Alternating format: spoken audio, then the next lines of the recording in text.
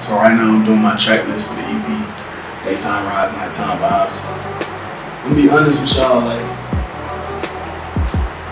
I'm ready to drop on the inside, but on the outside, I feel like there's so much that has to get done, and time time is running out. You know, it comes out in a few weeks. I haven't been posting. I've been on my anti shit. When I'm working on a project the anti, I haven't been out. Shit, LA been shut the fuck down. We just opening up.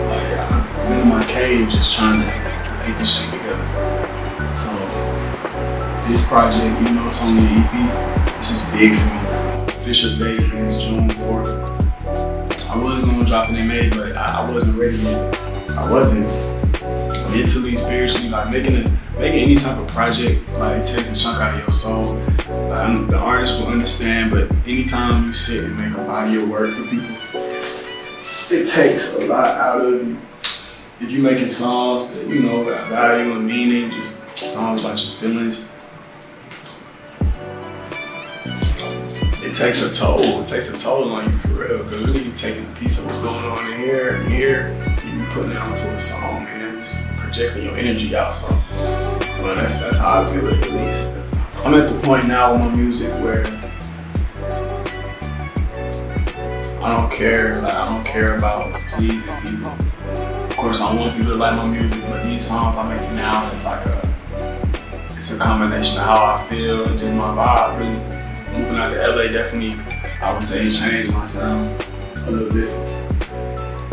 Um, in a good way, because I can explore more out here. The first song on the, on the EP is actually my favorite song. It's uh, Would You with Easy.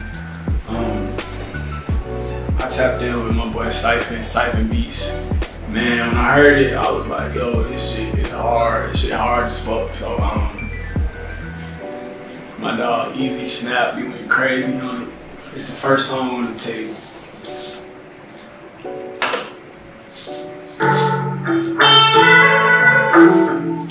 You know that shit about to be hard.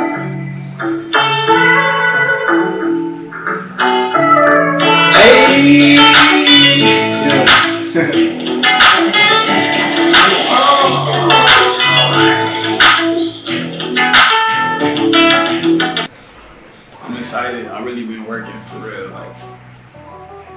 But I'm, I'm ready.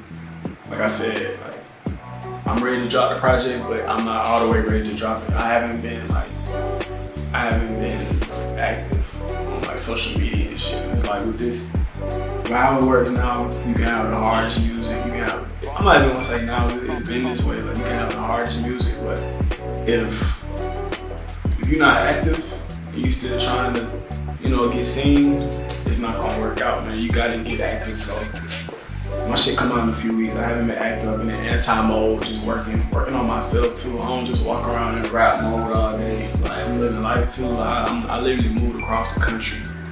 So, you know, May first made two years since I've been out here, man. I'm, I'm still just now adjusting. The whole last year, it was more so a survival year, which made me strong, hella more strong than I was. But we were shut down. So along with that, you know, LA is open now. I'm still, I'm ready to get my exploration back on, but you know, the grind don't stop. I can honestly say these past couple years, I've lost a lot of supporters. Um, from the time I moved here from Georgia till now, I had a lot of folks tuned in. I did. Like my DMs going crazy, my streams going crazy. I went, I went off the radar though. Don't, I'm not mad at myself. I know why I did. I moved to the other side of the country. Like the past two years, as many good moments. This has been hella crazy moments too, man. It's been hella turbulence, but um, I knew that when I made this decision. But yeah, I did. I lost a lot of supporters, but fuck them. Shoot, it's more where those came from, and my new music now is more of a personal connection with me anyway. So, yeah, man. Second track, one way. So, side note, as- I'm making this track list, I'm really trying to have an EP to just rise from the first track to the last track. Um, Daytime Rise, Nighttime Vibes came about from a lot of driving. A lot of the hooks I made, even before I moved here, a lot of the hooks I made, a lot of the song ideas I came up with, it happened on the road. I'll just be driving, seeing the palm trees, seeing the scenery, just vibing out. So even even listening to other people's music, I heard it a lot while driving, man. Like just being in the car.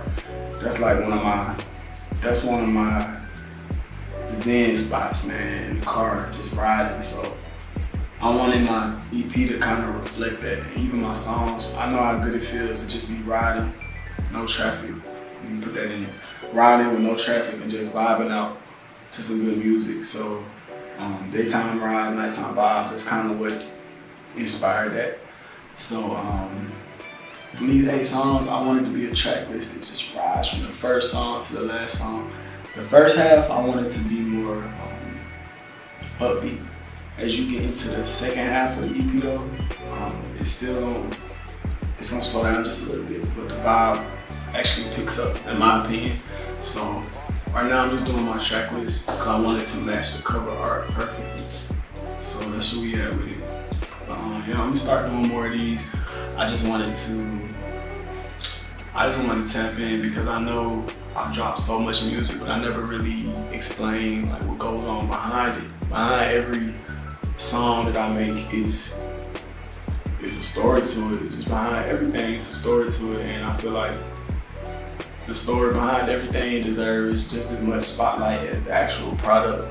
Well, that's my opinion.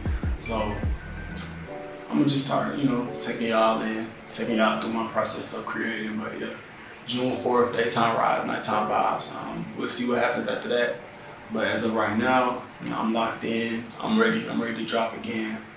Um, you know, and I'm ready to break all the barriers. I don't, I don't believe in people setting limitations on other people. Um, I believe in the underdogs. I support the underdogs because I've been one. So, you know, that's where I'm at with it, man. After this, I'm trying to get more collabs in, but right now, this daytime rise, nighttime vibes is a slice of what's going on here given to the world. So I hope the people enjoy. I don't even know when I'm gonna drop this, if I even drop it, but it's a part of history.